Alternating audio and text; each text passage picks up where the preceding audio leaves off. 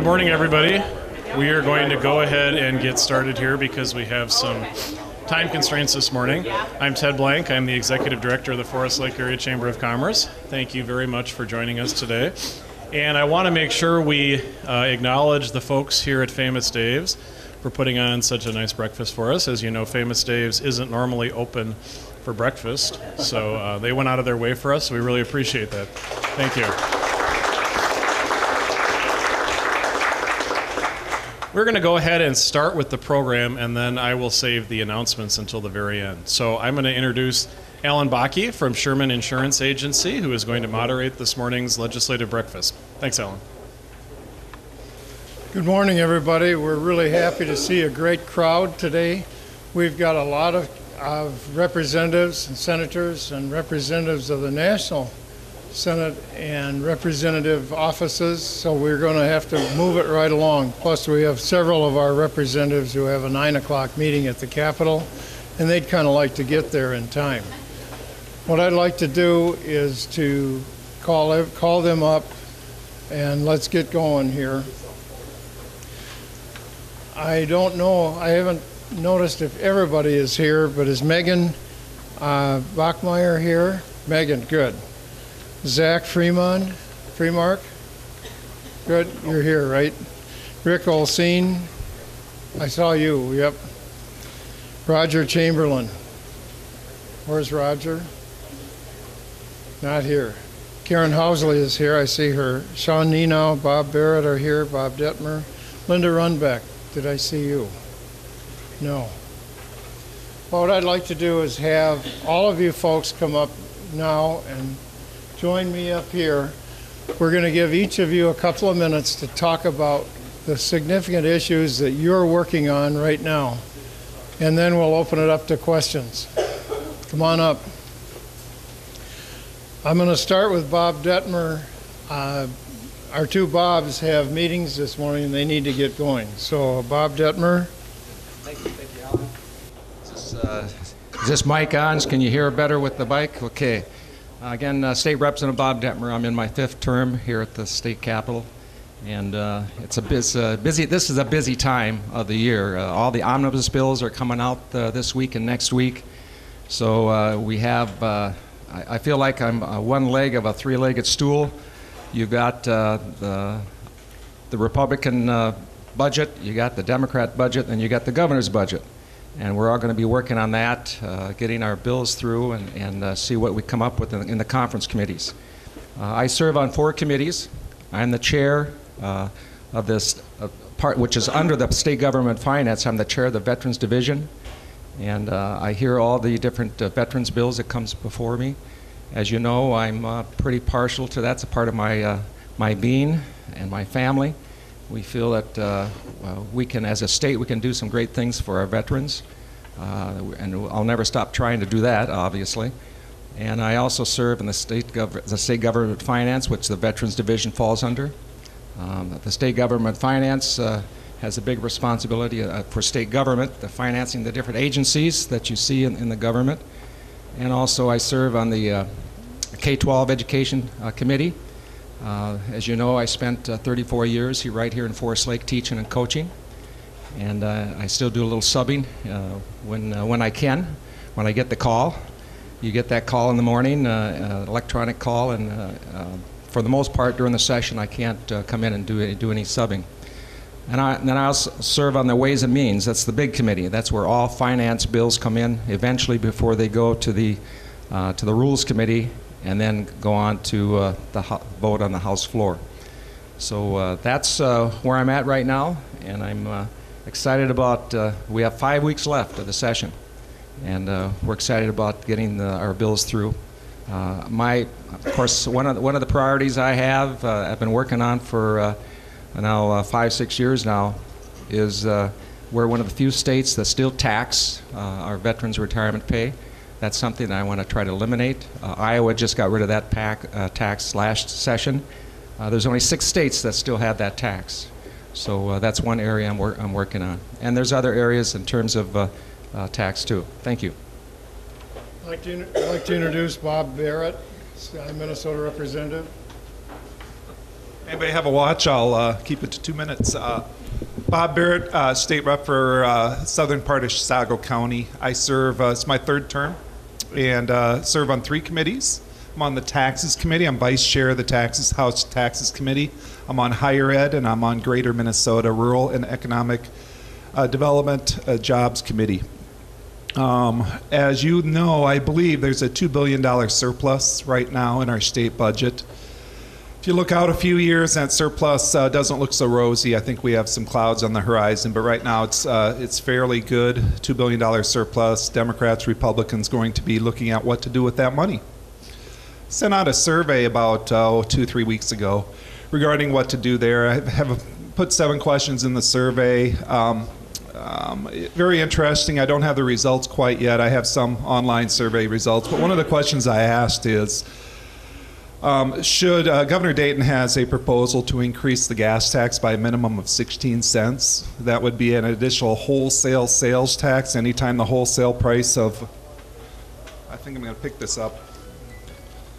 Um, and uh, so I put that in my survey. Uh, do you believe that we should increase gas taxes by at least 16 cents a gallon, knowing that that 16 cents a gallon will go up as the wholesale price of gas goes up? Um, about 22% said yes, about 78% said no. Um, a lot of people believe, as I do, that we have existing resources to uh, to fund our transportation. Um, a couple days ago, I think uh, we marked up our transportation bill in the House, seven billion dollars over 10 years. Uh, we're uh, devoting to uh, transportation. We have huge transportation needs in our state. Uh, we believe that we can use existing money. One idea I had was was the um, uh, mile, or, uh, motor vehicle sales tax. I don't know if uh, you all know this, but 40% of our motor vehicle sales tax that we we spend when we buy a new or used car is diverted to transportation. If you look at uh, some of the transportation or tra- uh, transit projects, we have North Star Corridor. We spent 380 billion dollars with the B. 380 billion dollars. Is that right? No, 380 uh, million dollars. I'm sorry. On North Star, about 12 million of that has come from the people that have used North Star. So everything else is a subsidy. So those are things we need to look at. If uh, transit projects or transportation projects or any part of government spending is doing well, maybe we should look at doing more of it. If uh, the spending is not meeting its need, too costly, not serving the, uh, enough people, we should do less of it. North Star is a great example. Initially, they said 5,000 cars are going to be taken off the road every day uh, about a thousand cars are being taken off the road. That's uh, my math is right. That's an 80% uh, reduction from what they thought was going to happen. So, government needs to uh, look at things like that and make decisions based on facts. And uh, North Star probably isn't a good thing going forward. So, I think my two minutes are probably up. Thank you very much. I'd like to introduce Senator Sean Nienow. Thanks for coming, ladies and gentlemen. Glad to be here. Um, for those that um, know or don't know, uh, I am the GOP lead on the uh, K 12 Committee for Education, uh, Finance, and Policy.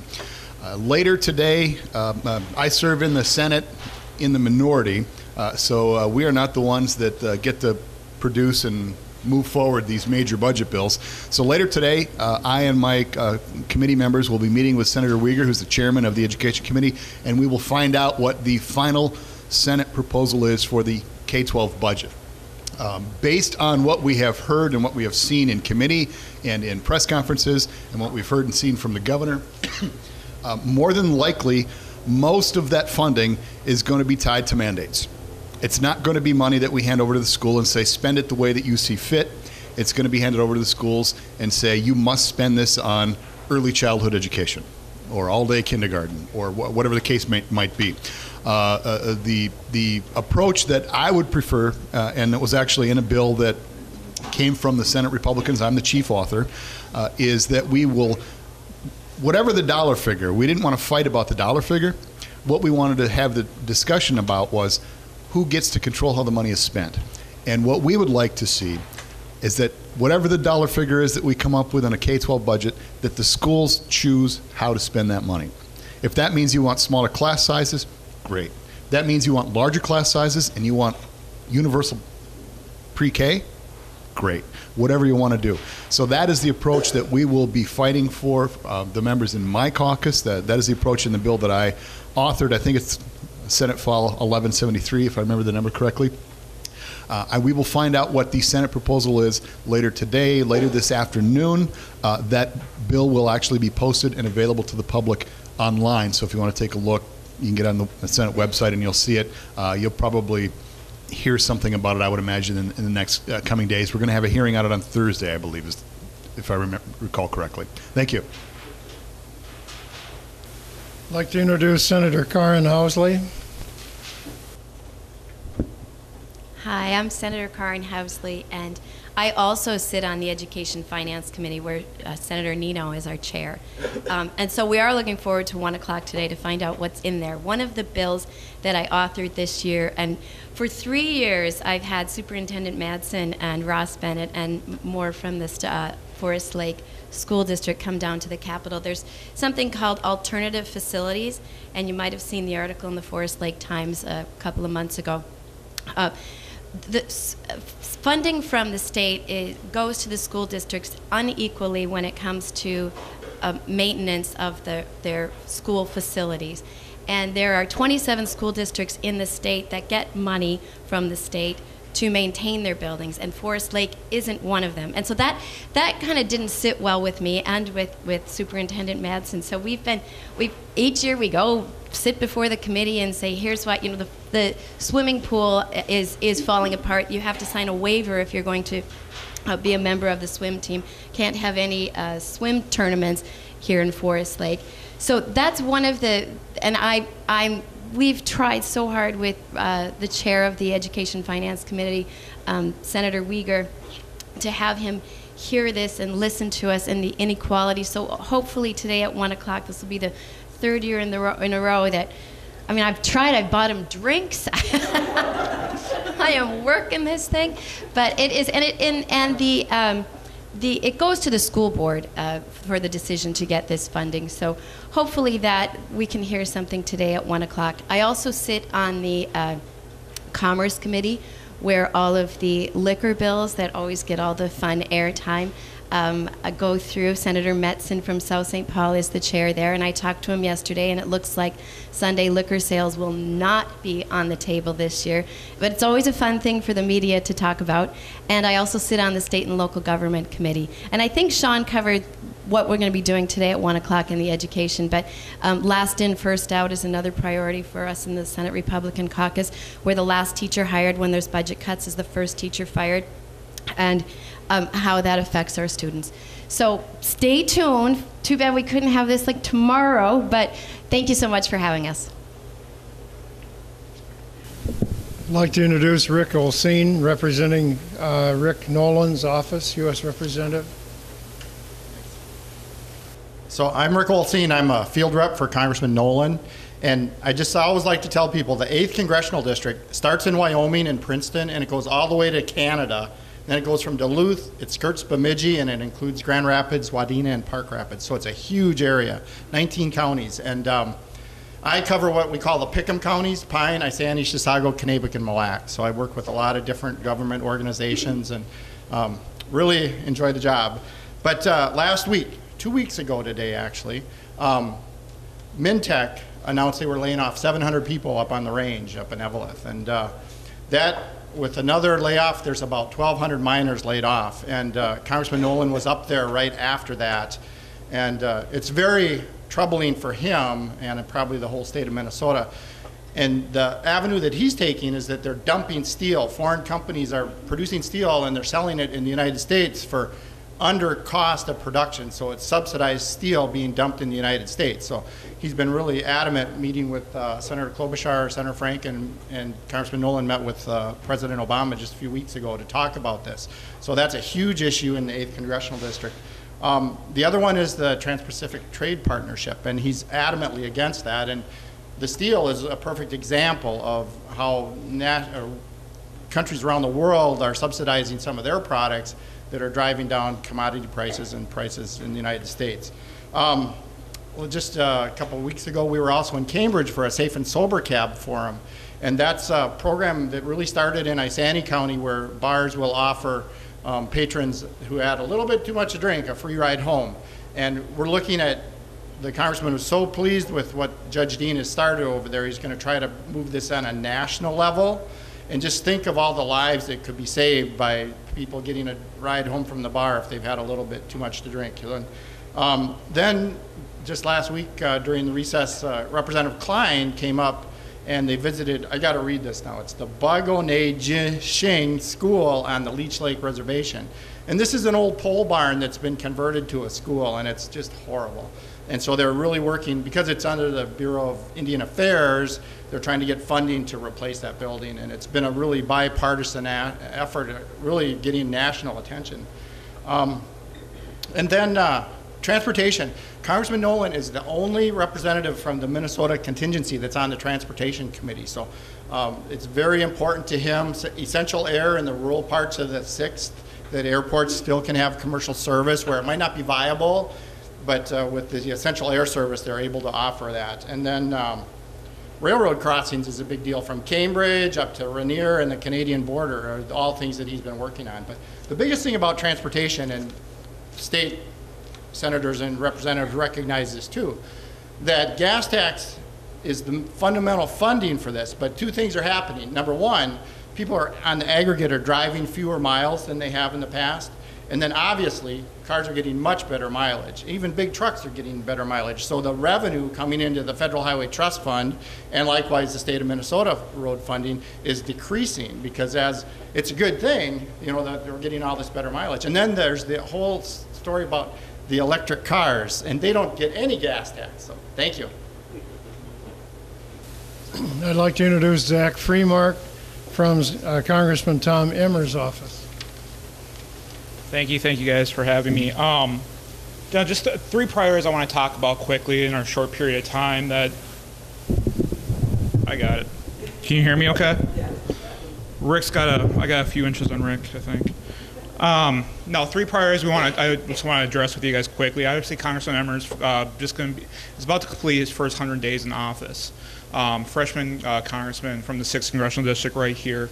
Um, three priorities that we've really kind of set out on. Uh, one being uh, transportation. Uh, uh, first piece, or two, his, he just introduced two pieces of legislation.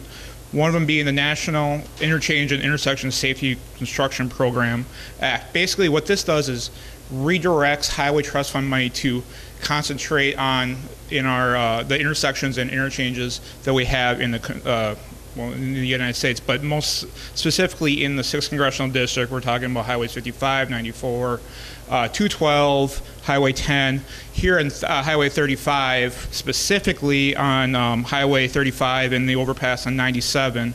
I was driving on this morning and I thought the thing was going to collapse on me because it, it just it looks in real, real bad shape. So, um, the congressman is really dedicated to transportation. He ran on his campaign. We polled on it that transportation is the number one issue to our constituents, and so he's heard that, and you know that's where we're attacking. Number two, the veterans. Uh, he's really working hard on veterans issues. One being the veterans' choice, strengthening veterans' choice. Veterans' choice is basically created in the scandal of the VA that essentially uh, veterans couldn't, after sometimes years, couldn't get appointments with their VA doctor. Veterans Choice was created so they could go see private doctors and the government would pay for it. But um, there were, as there always is, issues with that. So what uh, the congressman did was, and these bills are always crazy names, keeping our promise to Veterans Act.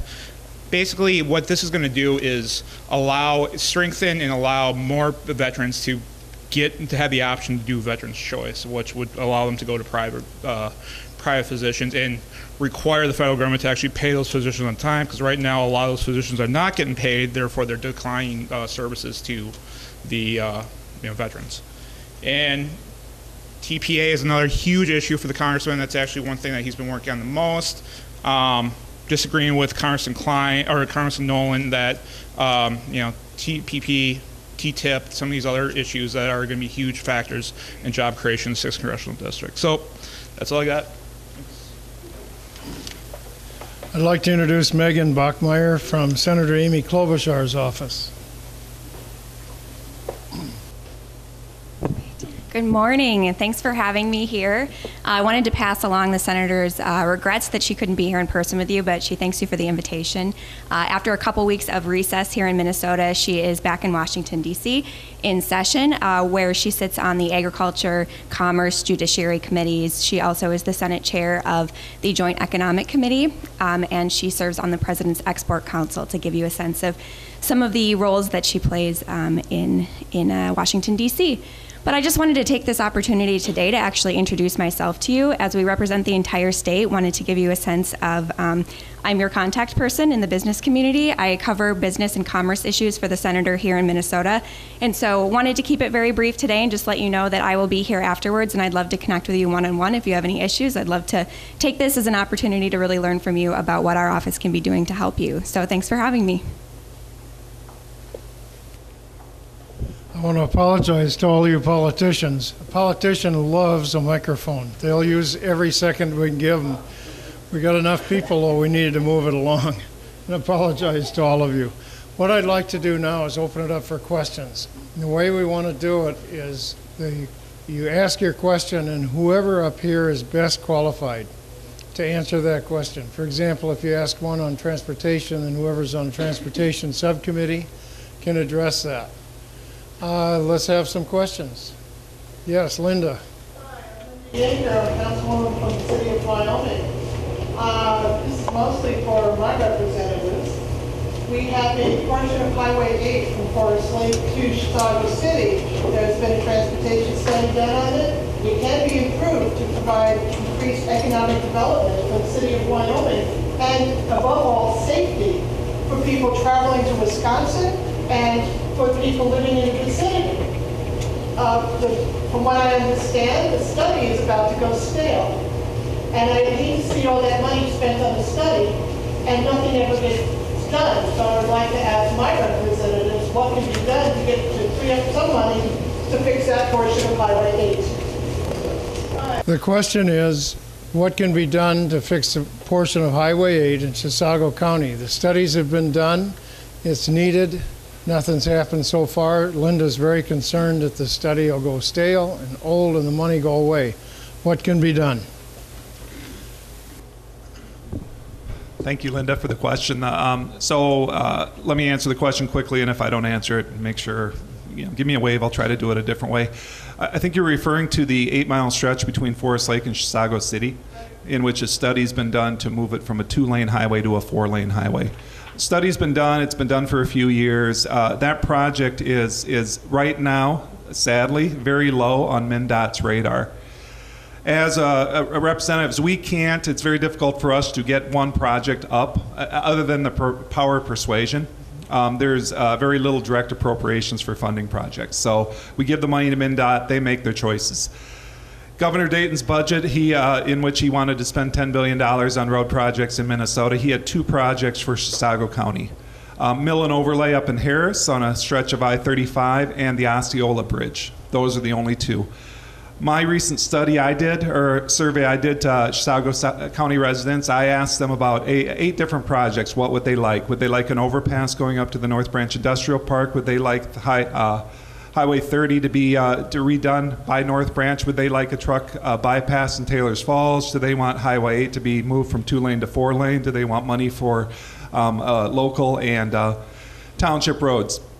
the two projects that rose to the level, I didn't even include Osceola Bridge because I thought nobody would, would care. Um, the two projects were Highway 8, um, Highway 8 and local, uh, local uh, roads. It's going to take about $30 million to do that, maybe a little bit more. Uh, but right now it's set for $30 million. We need to find the $30 million. I think we should do it. I'm, uh, I think, the first rep in, you know, uh, ever, I believe, I could be wrong, to actually talk about Highway 8, about making that uh, four lanes. I agree with you. It's, uh, it's a dangerous stretch of highway. Highway 8 is getting more safe, though. If you look at the studies, highway, there's a Highway 8 study. You should read it. it it's, uh, there you go. So you've read the study. You know it's it's getting safer, but it still isn't where it needs to be. But I agree with you. Economic development is crucial, and uh, um, so I agree with you. Did I answer that question or not? Actually, you answered it very well, but my question is, since the state is so strapped for money, what about federal funds? Well, ironically, I mentioned that I cover five counties for Congressman Nolan, and in those five counties, I can whip off $100 million in road projects like that. And Highway 8 expansion is certainly one of the best, and it's of good value. The cost per mile for lane mile to build that to four lanes is very reasonable. Unfortunately, um, all the safety improvements that were done on Highway 8 were back in the day of earmarks. And uh, you all remember that $100 million bridge to nowhere in Alaska, and that earmarks have gone away. In my political career, earmarks have always been used in uh, this area for safety improvements, and they're gone now. So it's very hard at the federal level. Similar to the state, you can't really designate where those dollars are going without the earmarks. So, so it is a problem. And you know what the federals do on the Federal Highway Trust Fund bill, that's a big part of it. So hopefully the, that bill will move forward. Thanks. Well, ironic. Next question. Got a question, anybody? Holy cow. Well, all right. I've got some. You know, when you got to do these things, you might as well be prepared, right? Area cities have adopted resolutions of support for legislative funding to replace the Highway 97 bridge over I-35. How are you helping make this project a reality? Thank you, Alan. That that uh, that's the same route I got to take every uh, day now to go down the Capitol. And just coming here today, uh, that was backed up all the way to the Kwik Trip uh, gas station. And uh, Tom Hackbarth and I uh, are co-authoring a bill. It's $25 million to get that project. To, so you put in uh, a four-lane bridge going across, making sure that people can get off that bridge and get down going south in, in, a, in a fast fashion. There's different, in fact, Anoka County is, is in charge of this project. And uh, we're also be looking to uh, the federal government to help us out there. MnDOT only wants to put in 3,000 or $3 million. Uh, they just want to do an overlay, and that's not going to do it. So we need to tear the, the existing bridge down, put up a new bridge, and hopefully we can get that done. Um, I know we have the bill in. We hope we can get that done. So. Just briefly on that, no, I mean, that's, that's absolutely on our radar, and, you know, Bob and I were just talking that we want to meet this week about, you know, seeing what we can do to get some federal dollars into that, because it just completely ties into what the congressman just, you know, introduced uh, two weeks ago. Um, I mean, I can tell you that we were up, he- uh, I was driving with uh, Tom, I'm just going to call him Tom, because that's what he would want me to tell, say. Um, Tom, you know, we were driving up here to speak at a veterans event, and he goes, Zach, that's the bridge. And he, he pointed out 97 and just how it was backed up and how, you know, decrepit, like I said, decrepit it looked. And so it's obviously on our radar and we gotta work with, you know, these guys to really direct funds where it needs to be. That's what uh, the purpose of the bill, so. Yes, Linda. Yes. I'm the superintendent of Forest Area Schools, and we have tried to be, become more politically active um, in the last few years. And this year, um, we've really identified three things that um, some of our local legislators have helped us with. Um, And so kind of stating it just as this is um, what we need, and I'm sure you've heard that, but also where we're at, and we hear that probably this afternoon we'll hear a little bit more, but it's about three percent of the formula each year. We cannot make it, we cut two million this year, and we're gonna end up cutting more if we don't get that three percent each year.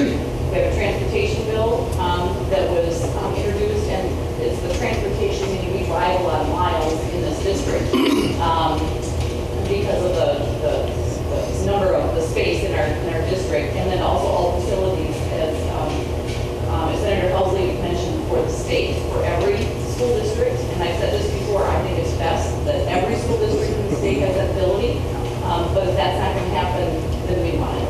So just wondering where those things are and what we can expect, are we gonna be cut, at this time next year, am I gonna be cutting two, three, four million again? Okay. Well, I'm going to have to give you a little bit of a hypothetical because I, I haven't seen the Senate proposal yet. That that's going to come at one o'clock this afternoon when it, it'll be a closed meeting, but uh, it will be public later today. Um, uh, all facilities, Karin's been working on that. I, I, don't know yet if it, that that would be part of the budget bill. Uh, We don't know. I don't know if, if Senator Wiger has given you any indication of whether it will or won't be in. I don't think he has. Yeah, there you go. Buy them too. It's, yeah. Um, uh, we'll know that later today. I would imagine if it's not in the bill, Karin probably will have an amendment proposed in committee and probably on the floor. Um, you know how that goes, we'll see. Uh, on funding, uh, unfortunately, when you look at what the Senate has talked about and what the governor has proposed, um, they're looking at. You've got two problems there. They're looking at a dollar figure, a percentage figure that's smaller than what you're talking about, and it's tied to mandated spending. So even though you get the money to spend, you don't get it to your general fund. You get it to do, do this thing and that thing and the other thing, which doesn't help you. Um, I, I know that my colleagues, the GOP colleagues, certainly uh, will make very public note of that um, if that's what comes out in the final bill. Uh, and we certainly will propose changes and offer amendments to make that different. Uh, how successful we are, I don't know. Um, we have been successful in getting voices like yours uh, to very publicly feed back to Senator Wiger and the majority members in the Senate to say, we're not looking for mandated new money. We're looking for options, and we're looking for options that work. Uh, so hopefully we'll see that. I, I can't say that you won't. Uh, at one o'clock, I'll know. Linda has a good, strong voice. Did everybody hear that question? It pertains to alternative facilities uh, levy. I can speak to that also. I carried the bill in the House. Uh, Our, our House did not hear any of those bills. Uh, It's House File 87. And uh, I did put a handout on, on your tables there. If you take a look on the second page, it goes through uh, a little budget that we, uh, our budget anyway, and the fiscal year 14-15, that's what we're currently in. If you take a look down at uh, E12 education, uh, we're currently at a $15.8 billion budget. Uh, We're proposing a $16.866 billion budget, so we're increasing E12 education by 1.59, uh, uh, 1.059 uh, billion.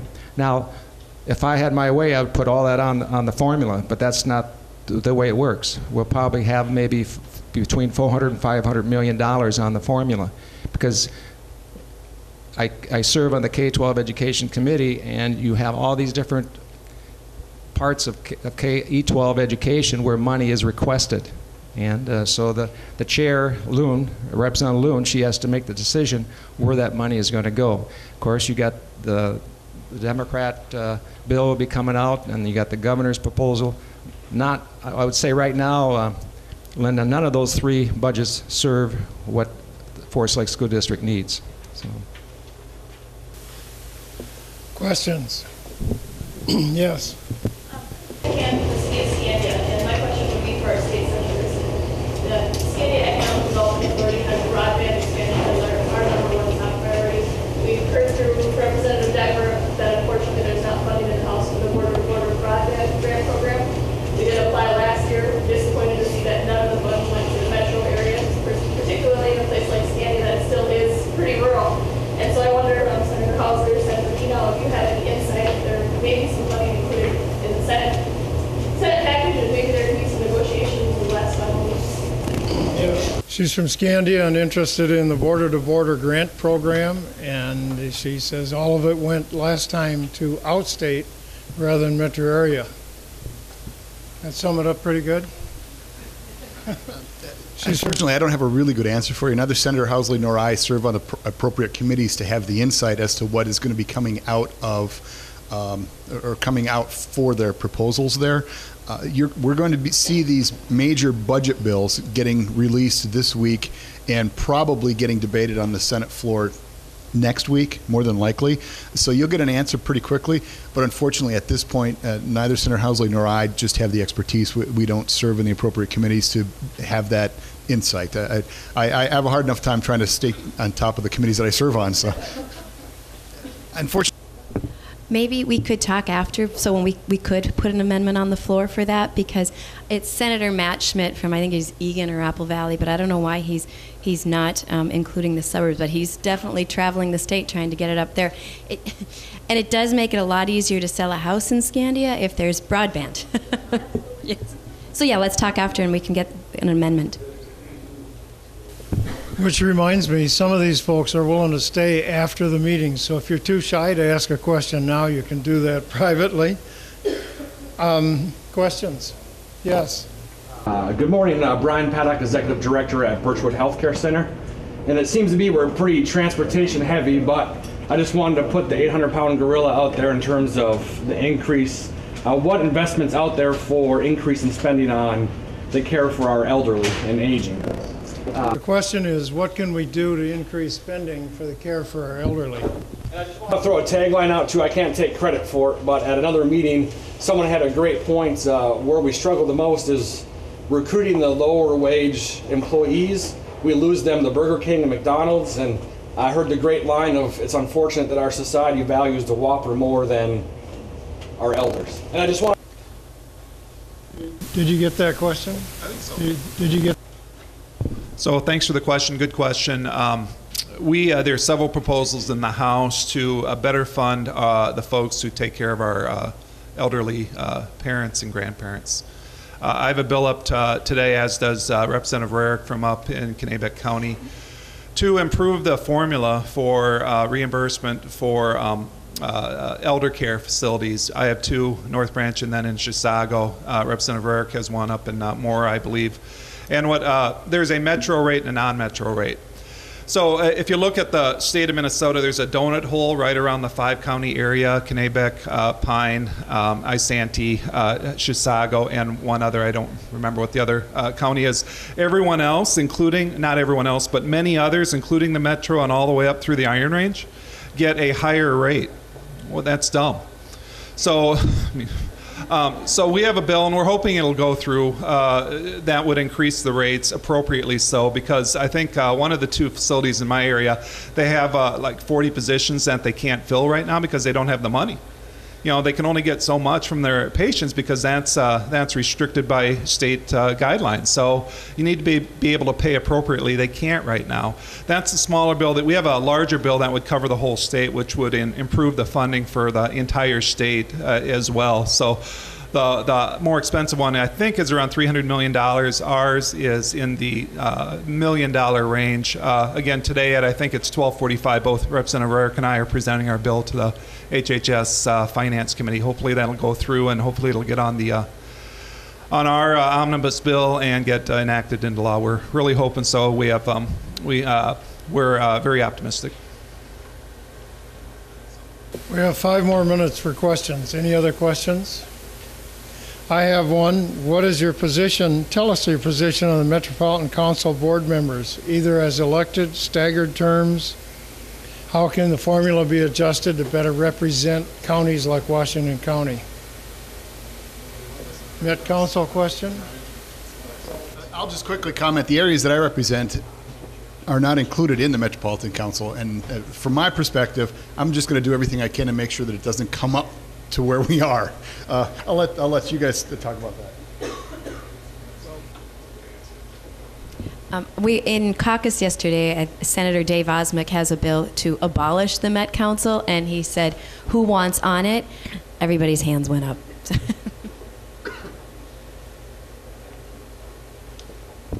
Thank you all for coming. We really appreciate it. We've uh, Ted's going to give some announcements. And then whoever can stay, if you'd stay and address individual questions, that's great. The two Bobs got to duck out and get to a meeting. Ted?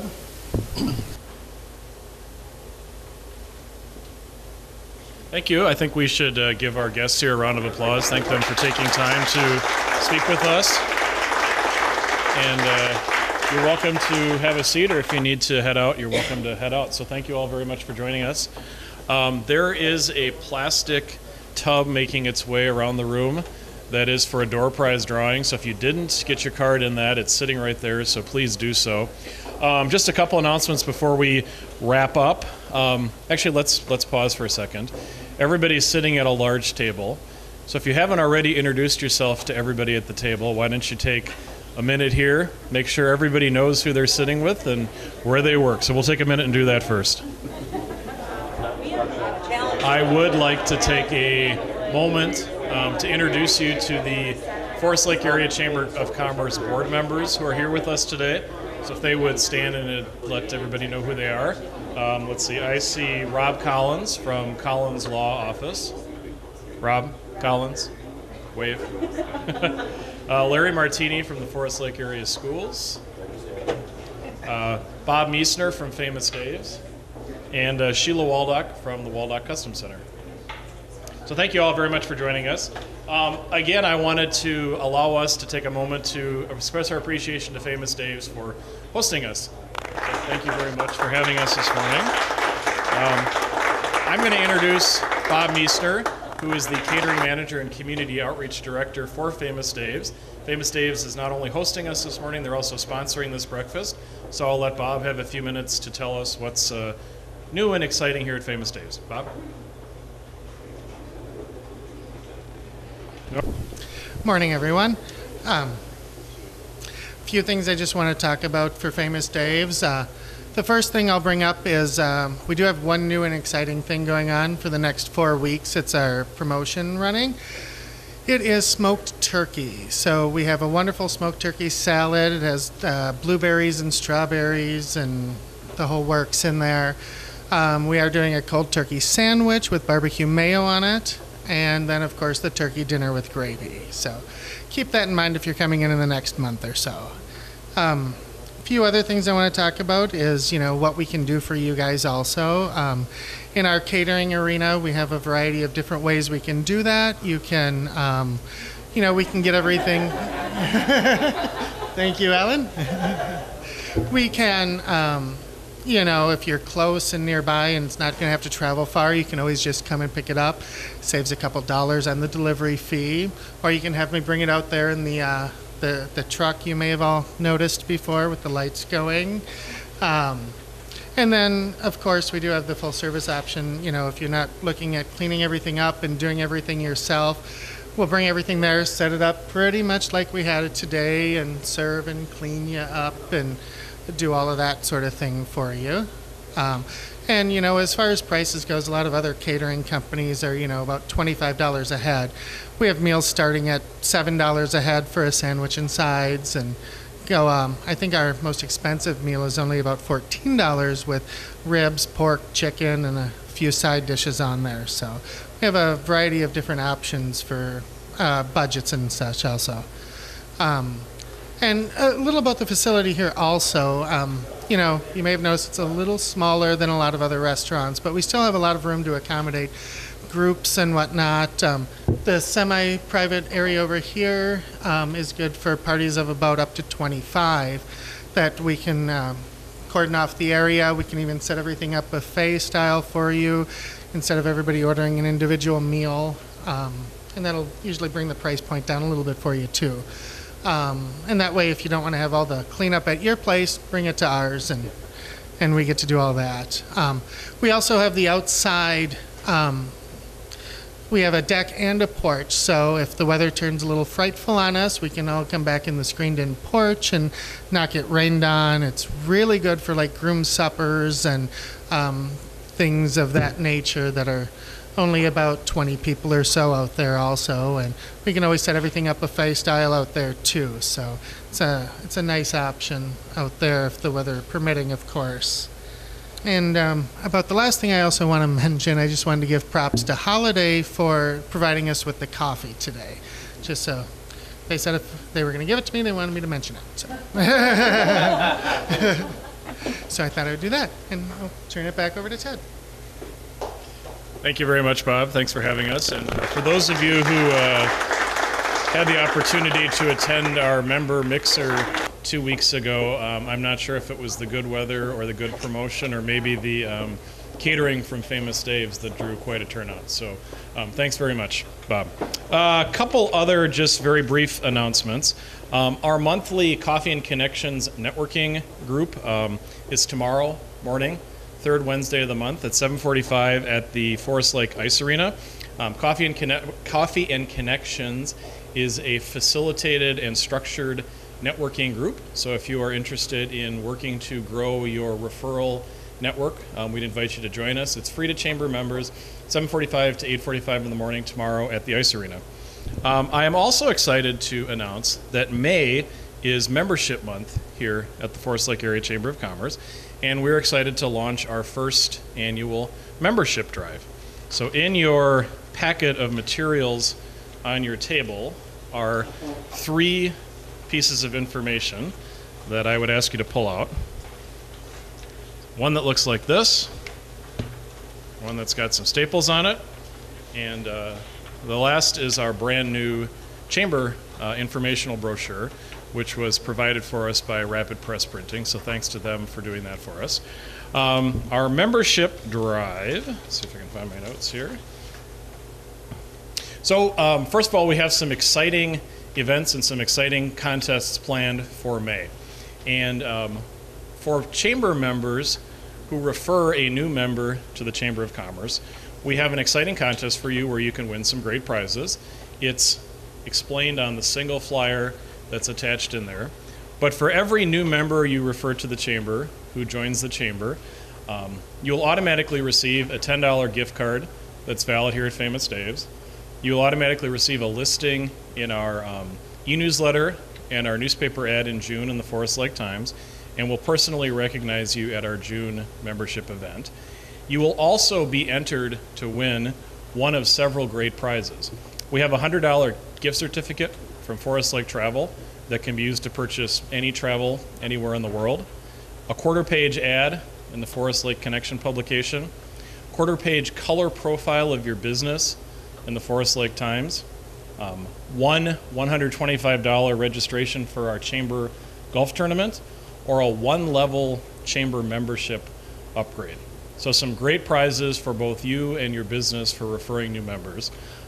And the individual who refers the most new members to the Chamber of Commerce through May 31st will actually receive a full page ad in the Forest Lake Lowdown newspaper for their business. So, some tremendous opportunities to um, help the chamber, help grow the chamber, but also provide additional visibility for your business. One of the tools that we're going to provide to you to help make this possible is our May membership luncheon. And our May membership luncheon, which is described on the flyer with a couple pages stapled to it, is going to be a progressive networking luncheon. It'll be a three course meal. You'll be seated at a different table during each course. And over the course of the meal, over the course of the meal, you have the opportunity to meet 21 businesses, 21 new contacts. Um, so that's a very exciting event. And as a chamber member, you are also invited to bring a guest to that for free. So if there's someone who um, is a prospect for your business, maybe a long lost client who isn't a chamber member, um, what a perfect excuse to give them a call, invite them out for a free lunch, let them see the value of chamber membership, let you look good in their eyes, and let them enjoy a free lunch. So there's information about that here. The flyer that's stapled to the top is meant to be given to um, folks who might be interested in joining the chamber. Uh, membership information, all membership materials are on our website, so you can download those. And then we also have our great new membership brochure, which we would encourage you to use to share with those folks. So, membership month is coming up in May. Watch for more information. Um, we are excited about that and uh, hope it'll be a good time and very excited about the May membership event. I would also just like to take a moment now to introduce a couple new members of the Chamber who are joining us here today. Um, ask them if they would like to to come up here and uh, say a few words about themselves or their business. And we will start with Ingi Andre from uh, TitleSmart. Good morning, everyone. I'm Ingi Andre with TitleSmart. Um, we have offices uh, in all over the metro, and I can travel anywhere to do closings for the real estate uh, or refinance needs. So if you know of anybody who is looking to buy, sell, or refinance their home, or realtors that are looking for a new closer, please send them my way. I am Ingi Andre with TitleSmart. Thank you. Thank you. And we have Joe and Danielle Haller from Fusion Tech Services. Good morning. I'm Joe Heller with Fusion Design Studio, transitioning to Fusion Tech Services. Um, we've been in the area quietly for probably 13 years. Just opened our retail store a couple years ago. Some of you have been there. Many of you probably read about us. Uh, we started intentionally doing computer sales and repairs, and were rapidly convinced by the public that we needed to do cell phone repairs. And we have also added four prepaid T-Mobile brands to our services, the biggest being Metro PCS, and we're basically here in Forest Lake to be the better buy in the area. and we just joined the chamber after spending the last couple years building the retail business and being confident that we can now offer our services to our fellow business people and not disappear next year on you. So thanks for having us. Well, thank you. Welcome to the chamber. Um, just a reminder, there is an evaluation form on your tables. If you wouldn't mind filling that out, let us um, know your thoughts on this event if you have any suggestions. There is also an attendee roster that also has contact information for the legislators who are here today. So if they've had to sneak out, um, there's information here on how to follow up with them. And finally, I think we have our drawing. Hopefully, everybody got their names in to win a a fabulous gift bag here from Famous Dave's. And Karen, you're the closest to me, so we're going to let you draw.